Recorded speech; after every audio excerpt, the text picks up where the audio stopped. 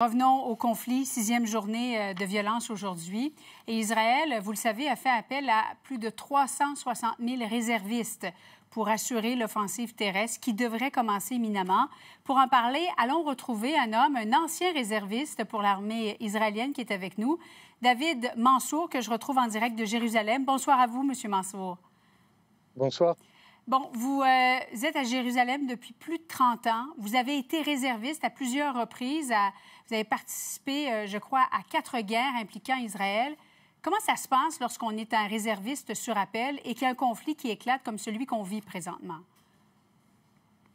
Déjà, ce qu'on vit en ce moment, c'est sans précédent. On n'a jamais eu des choses euh, similaires de cette ampleur-là. Là, c'est la guerre. En général, c'est des opérations, c'est des incursions, c'est des problèmes à la frontière du Liban ou ou même celle de, Gaza ou à l'intérieur des, territoires, mais en tout cas jamais des choses de cette ampleur. Comme vous avez dit le chiffre, plus de 300 000 personnes ont été appelées euh, euh, en moins de 48 heures là, et donc c'est quelque chose de totalement différent. Mais en général, on se doit, dans, au moment où on reçoit le, message, dans l'heure de venir et d'aller à l'endroit où ils nous ont dit de venir pour aller à la, à la base. Oui, donc dans l'heure, vous devez répondre très rapidement. Pourquoi vous dites que cette fois-ci, c'est différent, ce conflit? Euh, on n'a jamais eu quelque chose euh, d'aussi grave. On parle de l'incursion de quelques milliers de terroristes par la frontière de Gaza. On parle de, euh, de l'horreur qui a été faite, mais ça, je n'ai pas suivi ce que vous avez dit avant mhm. sur la chaîne, mais j'imagine que tout le monde est au courant des images qui tournent depuis quatre jours.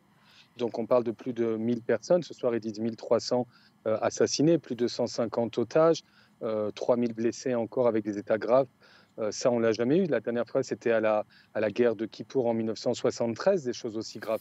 Donc, euh, en général, moi, j'ai fait l'armée à l'âge de 18 ans quand je suis venu m'installer en Israël.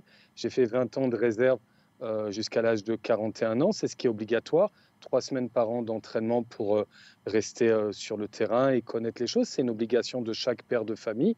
Et, et j'ai participé, oui, aux quatre dernières, on va dire, guerre d'Israël, mais qui n'était pas de cette ampleur-là, puisque là, on ne sait pas du tout vers quoi on va. Comme vous l'avez dit tout à l'heure, ils ont appelé plus de 300 000 réservistes. Ça va être des choses euh, qu'on n'a jamais vues. Quoi. Il y a la frontière nord aussi qui est en train de se réveiller, là, avec depuis ce matin des, des, tirs depuis euh, la Syrie. Euh, le Liban aussi avec le Hezbollah est en train de tâter qu'est-ce qu'il va faire. Nous, on est encore sous le choc de, de ce qu'on a vécu, des choses comme ça, on n'en a jamais vécu en Israël. Quoi. On découvre seulement maintenant à la frontière sud euh, ce que l'incursion des terroristes a fait. on a retrouvé encore hier plus de 100 corps qui étaient euh, dans un kibbutz, avec des enfants, avec des têtes décapitées, des choses qui sont horribles. Et, et, je pense que là, l'État d'Israël veut aller jusqu'au bout sur la bande de mm. Gaza, c'est-à-dire que depuis 2005, on se mêlait pas trop. Il y a eu des élections là-bas, le Hamas est monté face à l'OLP, mais là, je pense que dans toute la presse, on parle de faire tomber le Hamas parce qu'une autre incursion comme ça peut être existentielle pour Israël. Du coup, dans quelques années, s'il y avait euh, l'Iran, comme on sait, ou le Qatar qui sont derrière et qui continuent à s'entraîner, là, on pense vraiment qu'il y a un danger éminent pour l'État d'Israël. Ce soir, on a eu la satisfaction aussi d'avoir un gouvernement euh, d'union nationale d'urgence. Je vous rappelle qu'on est toujours très droite-gauche en Israël, un peu mm-hmm. comme chez vous, un peu comme aux États-Unis. Oui, oui, là, c'est un gouvernement de droite avec, avec ce soir un changement d'union euh, nationale, c'est-à-dire que de, mm. euh, deux, partis de gauche sont rentrés et on est en tas de guerre. Et, et en général, l'union est importante pour arriver à, à des, à, arriver au même euh, enjeu auquel ils veulent arriver, quoi. Les otages qui sont détenus par le Hamas, bon, il y en aurait entre 100 et 150 de différentes nationalités. Est-ce qu'on peut garder espoir, selon vous? déjà, oui, vous l'avez dit, double nationalité pour certains, mais la plupart euh, israéliens. Et donc, du coup, euh, euh, on sait que par le passé, ça n'a rien apporté de bon. Quoi. Euh, juste une fois, quand ils avaient un jeune homme qui était franco-israélien, Gilad Shalit, on a mis quatre ans pour le récupérer. On n'a pas été capable d'aller à la bande de Gaza le chercher. Je vous rappelle, à la mm. fin, on est rentré dans une discussion avec le Hamas et on a libéré euh, plus de 1000 terroristes qui avaient du sang sur les mains en Israël pour le récupérer. Et là, vous dites, imaginez, ça c'était pour un. Donc pour 150, je pense que je pense pas que l'État d'Israël va va, va rentrer dans des discussions là-dessus. Je pense que voilà, on doit protéger 10 millions de civils en Israël, la petite démocratie du Moyen-Orient. On doit penser à notre avenir. On est revenu d'exil euh, pour créer un État juif, pour être ici en sécurité. Et là, il parle, c'est la sécurité et la survie du peuple juif, euh, euh, le gouvernement. Donc, je pense que ça ne sera pas quelque chose qui aura du poids. On aurait aimé que le, Hamas comprenne que c'est quelque chose qui lui brûle les mains, qu'il vaut mieux le donner maintenant et faire. Mais on ne peut rien attendre d'eux. C'est-à-dire, on sait que le Hamas, c'est comme Daesh, quoi. C'est comme les talibans, c'est comme le 11 septembre.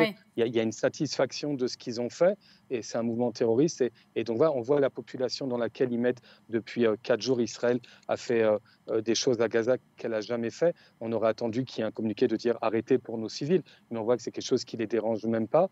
Et il y a une autre chose aussi qui est importante et qui fait mal en Israël, c'est qu'on sait que le Hamas est là-bas depuis 20 ans au pouvoir, qu'il est monté quand même, je ne sais pas si on peut dire le mot démocratiquement, mais en tout cas par des élections, à 77%. Il est monté, donc la population, elle savait quoi. C'est dans sa charte, c'est la destruction de l'État d'Israël, c'est aucune reconnaissance d'un État juif, c'est récupérer mm. Tel Aviv, ils disent euh, Jaffa, euh, Haïfa et Jérusalem où j'habite.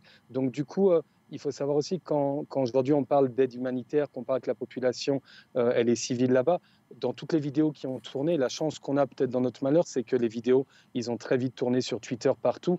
Dès samedi soir, après Shabbat, on a commencé à voir des vidéos. Et il n'y avait pas que des commandos, il y avait des gens armés, mais il y avait aussi, pour la plupart, des jeunes de 17, 18, 20 ans sur des mobilettes, sur des jeeps, qui venaient prendre les otages, qui les montaient et qui revenaient acclamés par la foule à Gaza et mm. les gens qui étaient heureux. Tout ça, c'est des images qu'on a en tête et qu'on doit savoir comment, qu'est-ce qu'on veut pour nos enfants. J'ai six enfants, dont un qui est né la semaine dernière, euh, une petite fille. Euh, qu'est-ce qu'on veut pour l'avenir de nos enfants? Est-ce qu'on veut vivre à côté de gens comme ça? Ou peut-être le plus simple, c'est d'enlever, comme par le Premier ministre, totalement le Hamas, faire un, un, endroit déméritalisé de, cette bande de Gaza et peut-être euh, inclure et, responsabiliser la frontière égyptienne. Il y a l'Égypte qui est juste à côté. Euh, on rappelle que de 48 à 67, de 1948 à 1967, la Gaza était égyptienne, toute la population là-bas est égyptienne jusqu'à la guerre des six jours.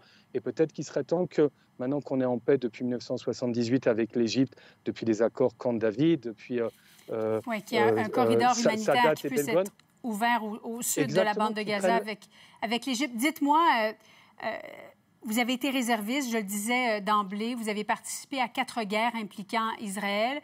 Vous êtes père de six enfants. Le dernier est né, ça fait euh, à peine une semaine. Est-ce que c'est ça qui fait que cette fois-ci, vous, vous, décidez de ne pas vous engager? Euh, non, il y, a, une règle automatique que jusqu'à 40 ans, ils appellent, mm-hmm. euh, où c'est que j'habite autour de moi, dans l'immeuble, partout. Il n'y a que des femmes avec des enfants à la maison, ce que ma femme a vécu pendant 20 ans à chaque fois que j'étais appelé. C'est encore plus difficile pour tout le monde. Euh, c'est le cas. Il faut aussi qu'il y ait des civils et, des pères de famille qui soient là dans le coin, dans le quartier, pour distribuer des, des, aides, pour aller aider comme on peut aussi. C'est important aussi qu'il y ait sur le terrain. Et donc, on a fixé à 40 ans. J'ai des amis qui se portent volontaires même après 40 ans. J'en ai plusieurs, euh, je vois, qui m'envoient des messages et qui me disent je suis retourné encore. Il y a des gens jusqu'à 50 ans, 60 ans qui vont euh, au, front, si on peut dire, et qui voient ça. chacun doit faire euh, son calcul, je pense. Moi, si, demain il me disait qu'ils avaient besoin encore plus que 370 000 personnes qui sont déjà mobilisées, on irait sans réfléchir et, on le ferait pour la patrie pas, parce qu'on sait que c'est ce qu'il faut pour le peuple juif. Euh, notre famille a été touchée, euh, je viens d'une famille ashkénaze qui a été touchée aussi en France par la Shoah. Mon arrière-grand-mère a été déportée à Auschwitz et assassinée. Mon grand-père, à 10 ans orphelin, m'a toujours dit la chance qu'on a, c'est qu'aujourd'hui, on a un État juif et qu'on peut se protéger. C'est-à-dire qu'on a, donc, on est prêt à le protéger. Mais pour l'instant, avec les 370 000, c'est censé euh, euh, des gens qui sont entraînés, qui sont sur le terrain. C'est censé euh, donner la réponse que l'État d'Israël voudra bien donner. Et on espère que c'est vraiment reprendre le contrôle de la bande de Gaza pour la tranquillité et pour la population surtout là-bas qui mérite aussi autre chose. Si l'Égypte ou quelqu'un d'autre prenait la responsabilité, peut-être que dans 10 ans, 15 ans, 20 ans, toute la haine qu'ils ont enseignée là-bas, parce qu'il faut les voir, les, les choses quoi, en mathématiques, un Israélien plus un Israélien euh, qui est tué, combien ça fait? Quand on apprend comme ça, ça va prendre du temps jusqu'à ce qu'on arrive à un air nouveau, mais il n'est jamais trop tard pour bien faire et essayer hmm. de faire pour l'avenir de tout le monde dans cette région. David Mansour, euh, qui est avec nous. Il nous parle en direct de Jérusalem, euh, ancien réserviste pour l'armée israélienne. Merci beaucoup d'avoir été des nôtres. Merci à vous et qu'on n'entende que des bonnes choses. Shalom. Merci, au revoir.